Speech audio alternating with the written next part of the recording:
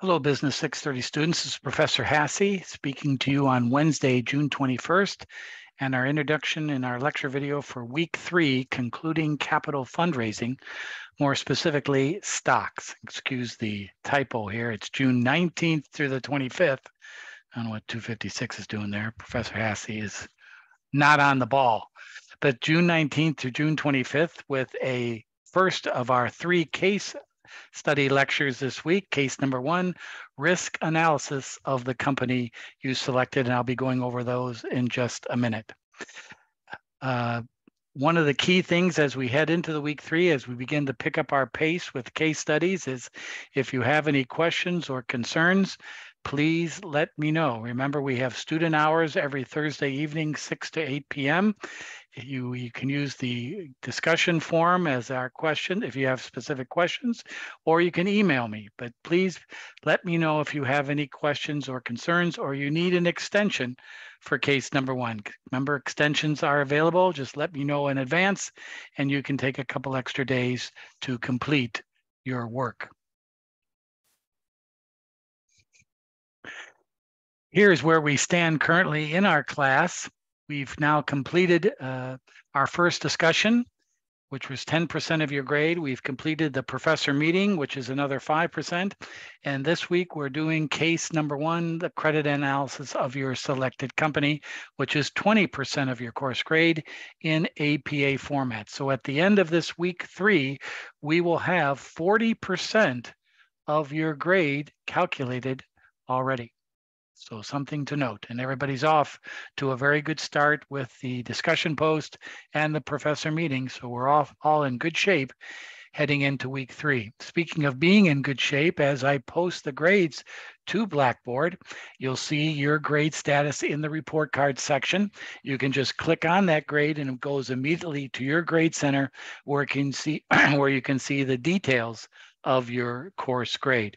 As you complete case study number one this next weekend, or this weekend, I will post the return file uh, with a rubric completed uh, to show you how I graded your case. And I'll show you that sample rubric in just a second.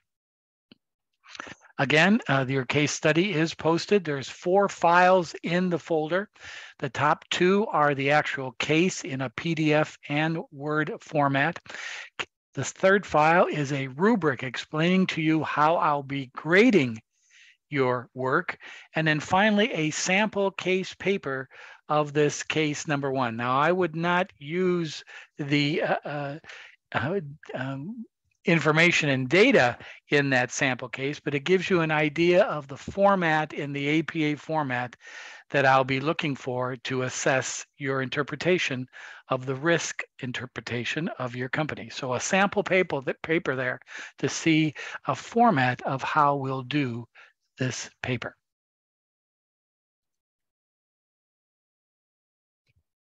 Here is that case study due on Sunday the 25th. Uh, it's a, a, risk analysis interpretation, both qualitative and quantitative, of the company you selected in your uh, first week of our of our course. Remember, this is an advanced corporate finance MBA class. One of the keys key areas of MBA study and MBA uh, uh, assessment is your interpretation and your ability to go in and do research about certain topics. And that's what's being asked in this case here. Your interpretation of the risk assessment of the company, both qualitative and quantitative. And let me give you an example of that. The first part of the case, you're asked to do a risk analysis, a risk evaluation, which worth roughly a third of the grade. You are to find the credit rating of your company. You are to find what you've already done, the beta of the company. And then I'm asking you to determine with the capital asset pricing model the required return on equity investment of this company. You have the beta. The current risk-free rate to use in your calculation is 3.75%, and the market risk return is currently 8.75% to use in your calculation. So with that data and the beta that you found for your company, what is the current required return on equity investment for your firm? With that information, I would like you to calculate the weighted average cost of capital for your firm. But first, you need the capital structure. What percent of debt and equity is the most recent financial quarter balance sheet? That would probably be March 31st. So you are you are to find the March 31st balance sheet of your company and what percent of the company's assets is financed by debt, what percent is equity. The two should total naturally 100%. Those are your capital structure percentages to be to be used in your assessment of the weighted average cost of capital in the capital asset pricing part of this problem, you've already calculated the return or the cost of equity. I'm giving you the current cost of debt to use as 8%, and the corporate tax rate to use for this is 25%. So with that information about debt, with that information about equity, with that information about your capital structure percentages of the most recent financial quarter, I'm asking you to determine for me the weighted average cost of capital. That is a quantitative analysis of the risk of the company. In other words, a calculation of credit rating, beta, required return, average cap cost of capital. That is a quantitative analysis of your company. Then I'm asking you to do a qualitative analysis of the risk of your company in two regards organizational health and environmental health. What is the risk associated with the organization? Are they having a change in management? Do they have weak leadership? Are they having some liability issues with lawsuits or anything? What's the organizational health of the company? Also, what is the environmental risk or perspective of the company? Are they in a bad market? Do they have a lot of competition? Are there political, social risks? Does the high inflation these days affect your company more? So there, this is a qualitative analysis of organizational and environmental risk with your company. This is 65% of the assessment. Key takeaways. Risk analysis seeks to identify, measure, and mitigate various risk of so exposures or hazards facing a business. You've done in the first part the measurement of risk, and now you're identifying various risk expo exposures. Quantitative risk analysis uses mathematical models and simulations to assign num numerical values. That's what you did in part one. Now you're doing a qualitative risk, relies on your subjective judgment to build a theoretical model of risk for a given scenario. What is the organizational risk? What is the environmental risk? Risk analysis is the process of assessing the likelihood of an adverse event occurring within the corporate, government, or environmental sector. Risk analysis is the study of underlying uncertainty of a given course of action, refers to the uncertainty of forecasted cash flows, the variance of portfolio stock returns, the probability of a project's success or failure, and the possible future economic states. You are to do this analysis in an APA formatted paper with a title page, an abstract page, and references, and double space, as you can see in the sample paper I've given you, in the font New Roman 12 point. The minimum is five pages, the maximum is 10. Remember, 10 pages, but you have a title page, an abstract page, and references. So there's three pages there. So as you can see, you have plenty of space to do your analysis. Graphs, are advisable. Charts are advisable. This is an MBA research paper, and I expect the quality to be as such. Your job is to go in and research the company, go to their financials. You can use the D&B Hoover's database. You can use Yahoo. You can use the, the investors eh, section of the company's website. It's your job to find the data. Do not ask Professor Hasse about where to get data. As a graduate student, you should be able to figure this out. I will ask, you can ask questions about what the questions mean or what I'm looking for. That is fine, but I'm not going to help you do any research. At this level of education, you should be able to figure that out. So good luck. have a great paper. This is a good way to start our class interpreting a specific company's risk in the market. Here's the rubric that I'll be using to grade your work on.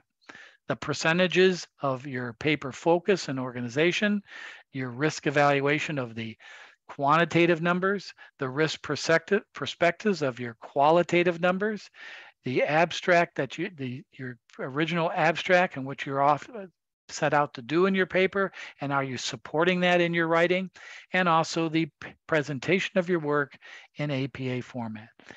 20% for each one of those, that's how I'll be assessing your work. And you'll be getting this sheet back into your grade center with my interpretation based on what, how you did in these five areas. And then we have the sample paper that I provided. It's a basic format of a, of a case or risk analysis. As you can see, title page with all the appropriate information. The abstract page where you set your what you're out uh, to do and what you plan on finding out in this analysis and are you going to go about doing that? The risk evaluation, information, risk perspectives, organizational health, environmental, and so on to the concluding references. That's the way I like to look at, and that's what I'll be looking for in your interpretation of this data. So this sample paper may help you.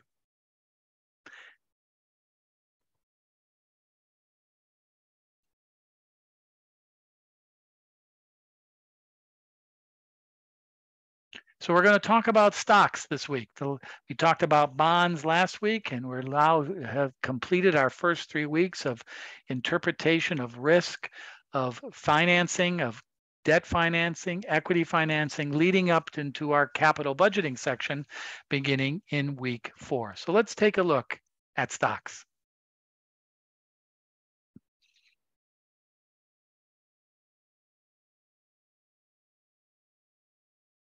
Talk a little bit about what it means to own shares or stock in a company. So shares or stock. And I think we all have a general sense, but what I want to do in this video is make it a little bit more tangible to really understand exactly what you're buying when you buy a share of stock. So the general sense, and this is exactly what it really is, is when you buy stock or you buy shares, you're you're essentially becoming a partial or a part owner of the company. Part owner of company. And just to contrast this with bonds, because they're often kind of used in the same phrasing, oh, I'm going to go buy some stocks for bonds, or I deal with stocks and bonds. Bonds, bonds, you become part lender to the company. Part lender to the company.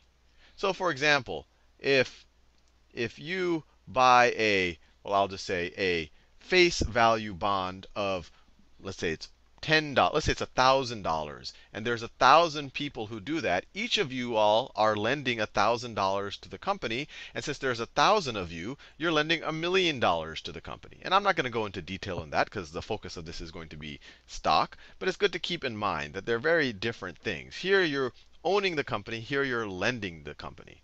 So just to get make this a little bit more tangible of exactly what we're owning, let me draw a simple balance sheet for some company X. So this is company. Let me do a new color. Let's say we're dealing with company company X right here. And let's say if we looked at company X's assets. And when we talk about assets, it really is the same thing that we mean in the real world or in our everyday life when we talk about assets. They're things that have value, things that are going to give us some type of future benefit. A house is an asset because it gives us the future benefit of being able to live in it and protecting us from cold weather and rain. Cars are assets because they give provide us some transportation. Cash is an asset because it can be exchanged for things we need in the future. So all of these uh, loan to someone else is an asset because in the future they will pay us back. A loan to me is a liability, which we'll talk about in a second. But anyway, let me let's just in the very abstract sense say this is company X's assets, and let's say that they're worth 100 million dollars. 100 million dollars. And I'm not going to go into exactly how this number is determined or who's determining it or who's saying this is 100 million. But let's just say this is, we agree that this is how much their land and their patents and their copyrights and their cash and, and, and their buildings and everything else they have is worth. All of the things that will generate future value. Now, let's say that company X has also borrowed some money. And maybe they borrowed it by issuing bonds, which I will not go into detail on. So let's say they borrowed some money. And so they owe some people collectively $80 million. $80 million. This could have been a straight uh, debt from a bank, or this could have been via a bond issue. They might have issued, uh, maybe they issued a million bonds, where each of those are essentially represent a debt of $80. I won't go into that too much, but I think you get the idea what I mean. Part lender, but this is debt, $80 million of debt right here. Let's say that's all of their liabilities. There are other liabilities other than debt. But for simplicity, let's say that's their only liability. And that debt tends to be the biggest. Now, what's left for the owners? And a good way to think about that is what would happen if, if this company were sold and the debt paid off? So if the company were sold and these assets really are able to be sold for $100 million, you'd get $100 million. You'd have to pay the debt holders, you'd have to pay off the debt first. So you'd have 100 minus 80, you'd have $20 million left for the owners. I'll do that in this other green color. So you'd have $20 million left. $20 million left. And this is called the equity or the owner's equity. Owner's, owner's equity. And this is completely the same idea as when people talk about having equity in a house. If I have a $300,000 house and I still have $200,000 left on the mortgage, then I have $100,000 in equity. So it's completely analogous. And so you can see very simply that assets, and I'll write this down, you're getting a little bit of an introduction to accounting right here, but assets are going to always be equal to liabilities plus equity. Because essentially, or you can view it this way if you subtract liabilities from both sides, assets minus liabilities is equal to equity. This might be a little bit more intuitive. What we have left over is always what we own minus what we owe. That is what the owners have. Now, when we say that I'm part owner of a company, that means that I'm I have a piece of this pie right here. This is what I am a part owner of, the equity. So for example, if we have if there are 2 million shares, so company X, let's say they have 2 million 2 million shares. So, and let's say that the equity is really worth $20 million. How much is each share worth if we believe all of these numbers? Well, we have $20 million of equity, 20 million of equity, of equity, divided by 2 million shares, divided by 2 million shares, which gets us $10, $10 of equity, of equity per share. So if we believe all of these numbers, then and we and we know that company X has 2 million shares, then we would say that each share is worth $10. And if we like these numbers, and if someone is willing to sell us a share for less than that, we would buy it. If someone was uh, willing to pay more than that, maybe we would sell it. And just to make all of this a little bit more tangible, let's look at an actual example of a company to show you that I'm not making all of this stuff up. I got this off of your traditional financial sources. This is actually from the filings of this unnamed company. And you'll get extra bonus points if you figure out what this company is. And this is their, their actual stock trading activity. And I just want to draw the same diagram that I drew up here, the same diagram that I drew up here, to really, on this company, so you can kind of see that this is actually happens in the real world. So first, let's draw their assets. Let's draw this, let's say this is company X. And let's say this, these are its assets right there its assets. Let's go to its balance sheet. This is actually what they reported. This is June 30th. So, uh, uh, well, I, I, we, we want to take the more recent date. This is, you know, they're just trying to compare to what they had before. And let's look at these. This is some time ago, but it doesn't matter. We're learning. This is we're not trying to decide whether we want to invest in this right now. This is a very old financial statement, but let's just look at what they're saying. So they have our total assets here, 30 million. I'll just do in round numbers, 30 million dollars right there. So 30 million. You might be curious about, hey, what's all this current asset business? Those are things that are either cash or that can be turned into cash within the next year. So, for example, accounts receivable, that's money that other maybe vendors owe them that they're going to pay very soon. Inventories, these are things that they have maybe in the warehouse that they can sell and turn into cash very quickly. Other current assets, Maybe that stock or some other type of investment that they could sell and turn into cash. So they have 18 million of current current assets. That's things that they can turn into cash very easily and very quickly, definitely within the next year. Then you have some property, plant, and equipment. This is kind of that land and buildings and and and machinery that I talked about. And then who knows what these other assets are? Maybe those are trademarks or patents or or who knows what they are. But all in all, they have 30 million dollars of assets. Now let's go to the liabilities. So they have some they have some current liabilities, 16 million. Current liabilities, just so you know, those are liabilities. These are things that they have to pay in cash within the next year. It could be debt, it could be payables. They have to pay some other vendors. Who knows what it is? But you can kind of view it as debt on some level, maybe debt that you have to pay in the next year. And then they have a long-term debt of five and a half million. If you add these two up, you get pretty close to about 20, 22 million. So just for simplicity, I'll put it over here as 22 million. So this company has 22 million in liabilities. 22 million liabilities. These are their assets, just to get all the labeling right. So what's left for equity? We'll just draw on this simple diagram. We have 8 million left for equity. 8 million left for equity. And actually, they did the calculation here for us. The exact number is 8.39 or 8.4 million in equity, but this is a nice round number for us to show it. So this is real world stuff that we're dealing with. And if you wanted to know kind of if you believe these numbers, if you believe that this company's assets really are worth $30 million, what should you pay for it? Well, then you're going to divide by the total number of shares. And you'll see this in some financial statements. And I won't go into the details of the difference between basic and diluted, but the numbers are very, very close, so we don't have to do uh, worry about it too much. But let's just say that this company has 2.7, looks like 2.78 million shares. So if the book value is 8.396, I mean, I wrote 8 here, how much should each of these shares, uh, how much should each of these, and when I say book value, I mean this is these are their books. According to their books, the equity is worth 8.4 million.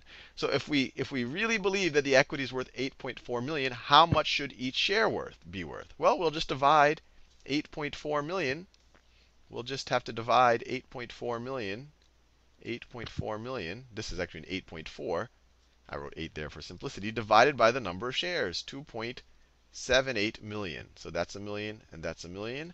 And I'll get a calculator out for this one right here.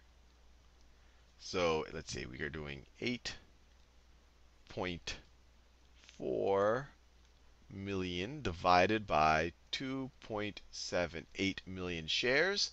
So according, if we believe these numbers, if we believe the books, the book value of the shares is about three three dollars two cents per share.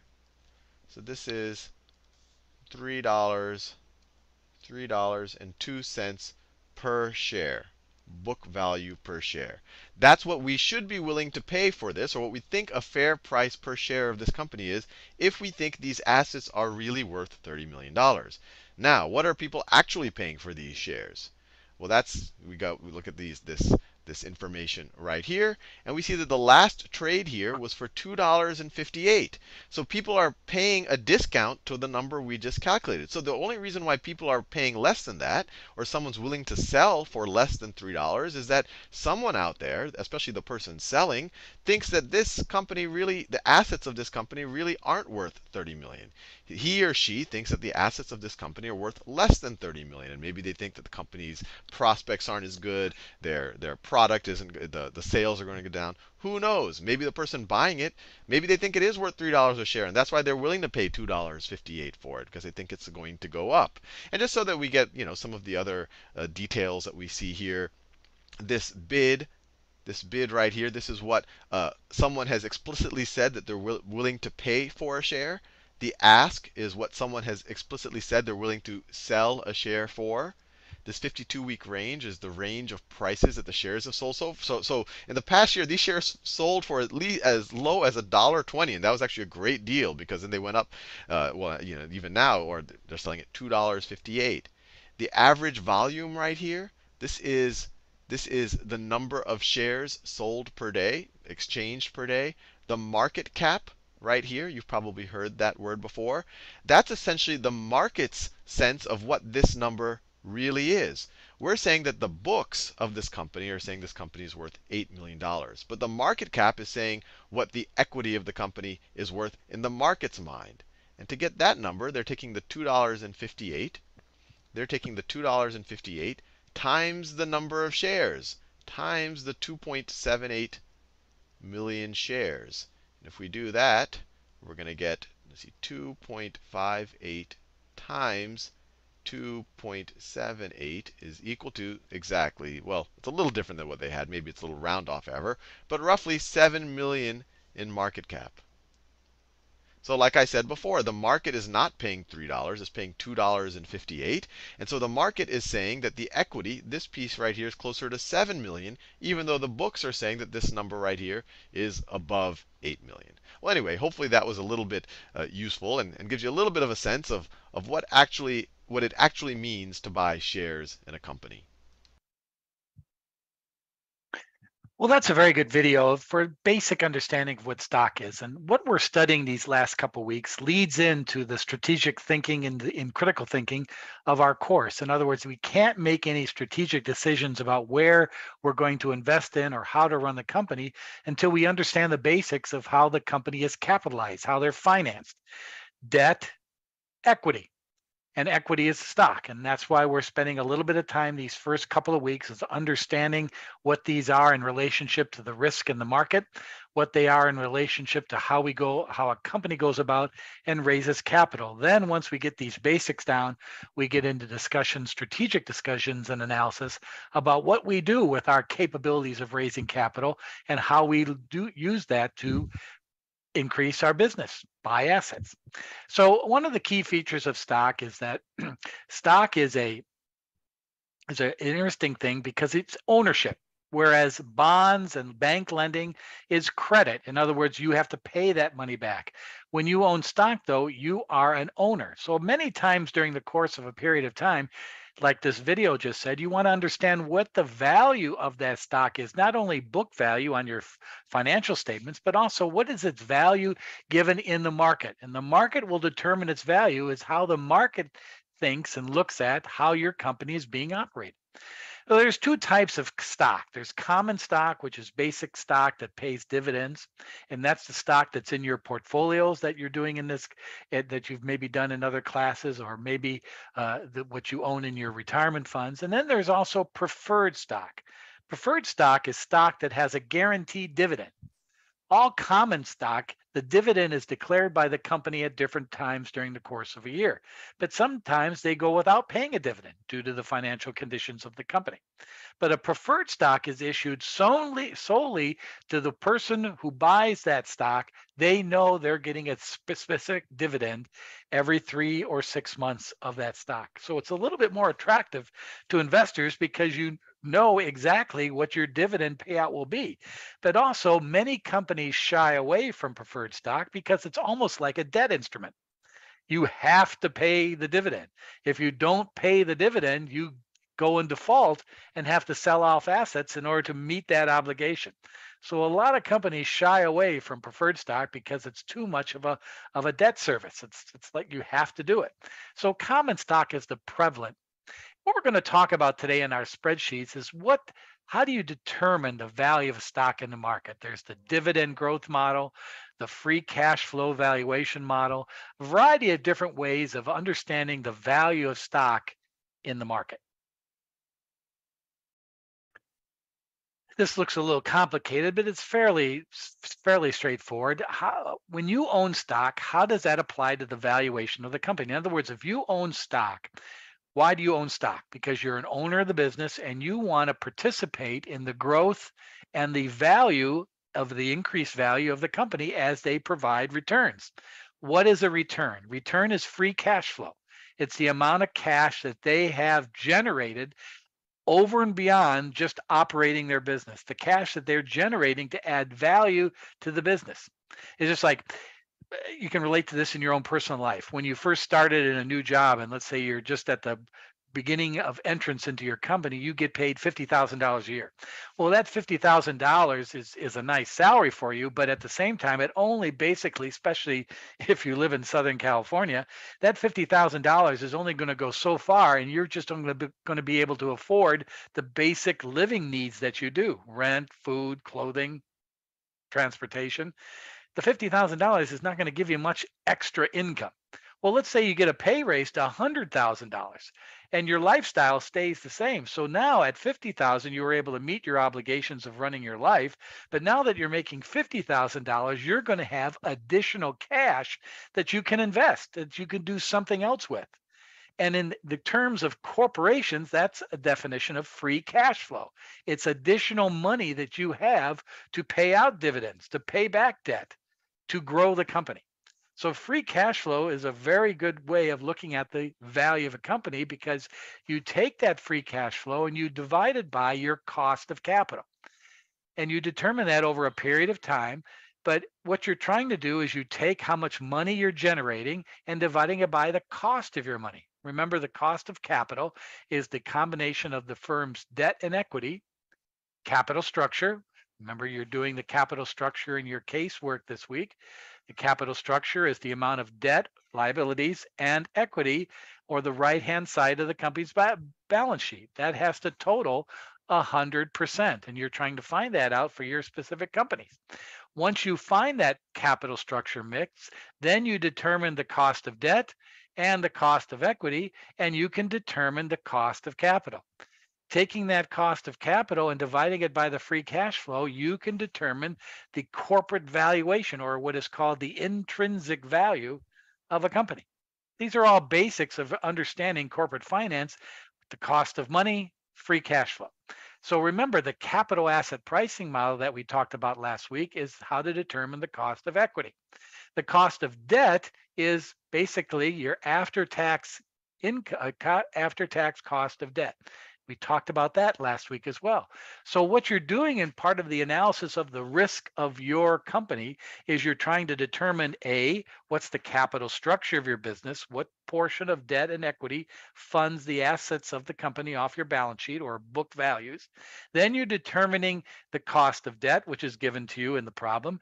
Then you're determining the cost of equity, which is given to you to calculate in the problem.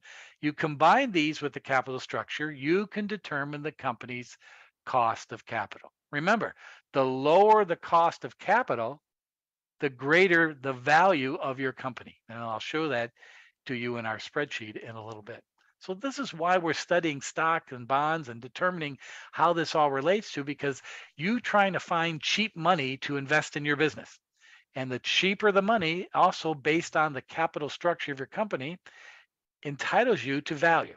And as financial manager and to make strategic decisions, you have to find that balance of capital structure and cost to determine the true value of a company and make it attractive for investors in the market, which will drive your investment in assets to create new markets for your business.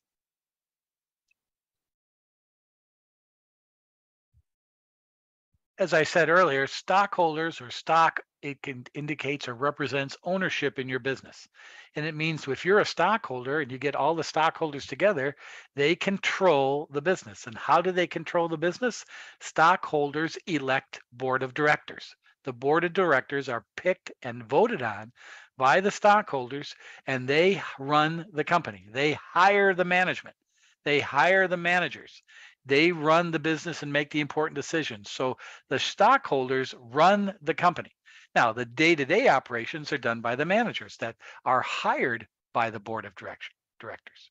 And it's the it's the job of the managers of the company to maximize the stock price and the valuation of the company. If they do that, they get to keep their job because the stockholders are going to be happy that they're maximizing their value.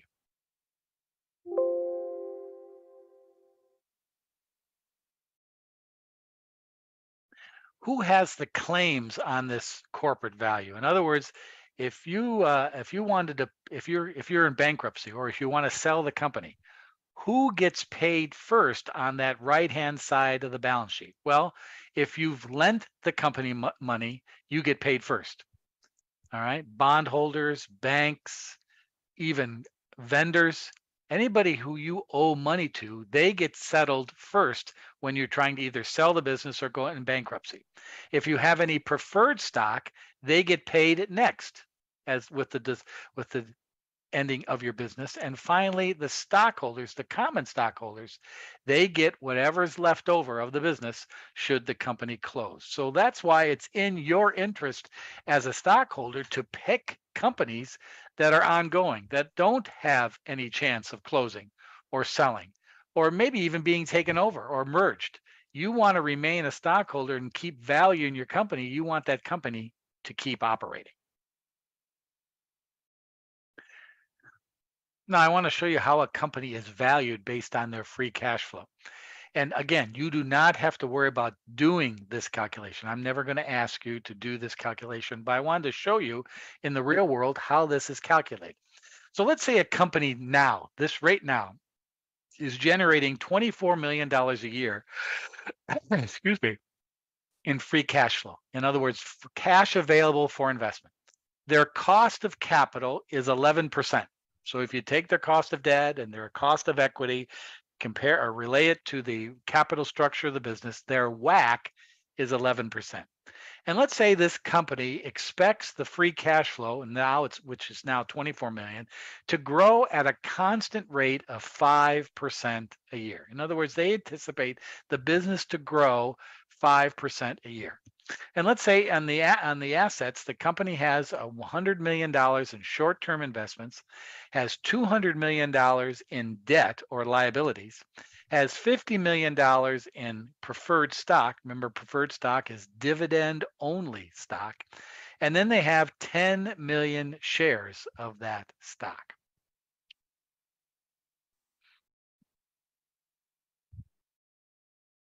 So if I wanted to determine the value of this company's operations, what is this company worth today? What I would do is I would take the free cash flow of $24 million and I would increase it at 5%, which is the next year's constant growth rate. And I would divide that by, let's go back, I would divide that by the weighted average cost of capital and my constant growth rate. So if I do that calculation, take the $24 million free cash flow, increase it by 5%, and divide it by the difference between the cost of capital and my growth rate, which is 6%, I end up with a valuation of $420 million of this company. That's how much, that's the relationship of the return of investment by what it cost us to get that investment. So we're making 400, the value of the company is $420 million. If I take that $420 million and I add in the short-term investments, remember the value of operations is what the the asset base or the long-term assets base are generating in return. If I add to that my short-term investments, I have a total value of the company of $520 million. $420 million being generated by the $24 million free cash flow divided by the weighted average cost of capital minus the growth rate. And then the additional short-term investment and other investments that the company has outside of the company till I get a value of four, $520 million. From that, I subtract out how much I owe, 20 million, and I subtract out the, the value of the preferred stock, which is 50 million. I now end up with a common stock equity position of $270 million. Notice this is a little bit more complicated than the video we saw, we saw where the gentleman kept that pretty simple. But this is how you would determine the, the intrinsic value, the true value of a company by taking into account and determining the value of operations, adding in any additional assets that are outside of the company, subtracting out the debt, subtracting out preferred stock, which is considered debt anyways, and you're left with a $270 million common stock base. If I take that $270 million and divide it by the current stock price or N, and let me let me go back and show you that what that, that N is. Remember, N is the number of shares of stock. That's 10 million shares of stock. So they have 10 million shares of stock, have a value of 270 million. That means the stock price really now in intrinsic value is $27 a share. So this company, this stock is worth $27 a share. Financial managers, CFOs track this on a quarterly basis because they want to compare what they think the intrinsic value of the stock is to what the market views their value of their stock. Okay. And so that's how we calculate the value of stock intrinsically. Now here's a spreadsheet in our lecture notes that kind of give more examples of that, especially about the subject that we just talked about. We've determined, let's say a company generates $400,000 of free cash flow. It's anticipated to grow at a 6% rate and its current cost of capital is 5.99% so they anticipate that the free cash flow in the coming year is 420,000. That's their projections. So if I take that 420,000 and divide it by the net of my difference between constant growth and weighted average cost of capital, which is 5.99%, my company is actually worth a little bit over $7 million. From that, you subtract out any debt, and then you take that remaining balance and divide it by the number of shares of stock outstanding, and you get your intrinsic value stock price. Many chief uh, financial managers' decisions of whether they should go out and raise new capital, they use this value of operations calculation to show investors that this company is worth more, is doing better from year to year. They track it. And this, this applies to many companies. One of the things that talked about stock earlier is remember the cost of equity. You're doing this in your case number one, where I give you the beta of the, you're going to find the beta of your specific company. You're going to be given the risk-free rate or the 10-year United States Treasury yield. That's given in the problem. You're given your market premium rate, which has a beta of one, and you're going to be combining those into the capital asset pricing model to determine that their your required rate of return is 8.67%. That's what your investors of equity expect to return from your business based on the risk of your specific company in relationship to zero risk in the market and average risk in the market. It's called your rate of return, and this is the capital asset pricing model. I'm asking you to do that with those values that I give you as given for your business in case number one. Here's another example of way of looking at intrinsic value. It's called the constant growth rate model. Remember here we're using free cash flow. Here in this one, we're using dividends. Let's say a company in the next year is going to pay $1.50 in dividends. They expect those dividends to grow in the future at 6%.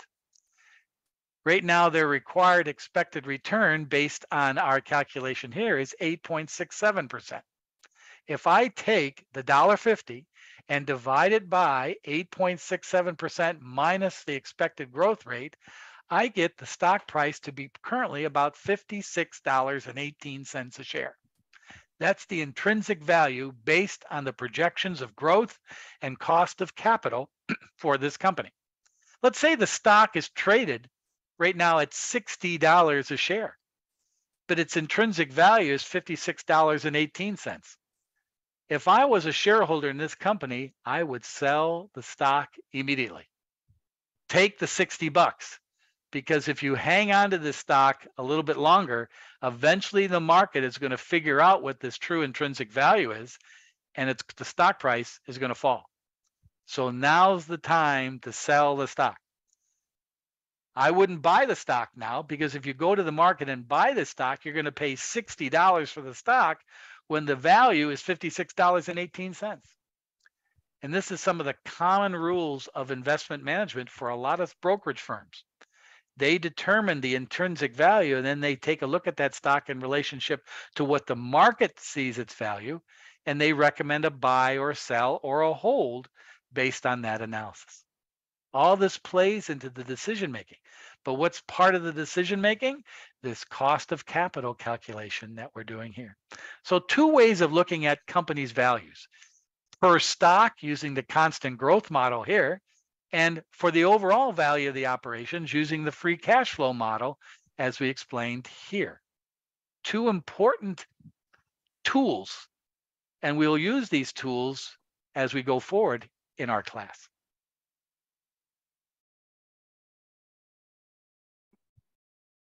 So we're off and running with week number three. There's a great basis of stock and its valuation, some good information to use and which you, will use as we go out for the remaining weeks of our course. Have a great week, everybody, and look for my update video of the weekend. If you have any questions, remember we have student hours on Thursday night. Until then, adios.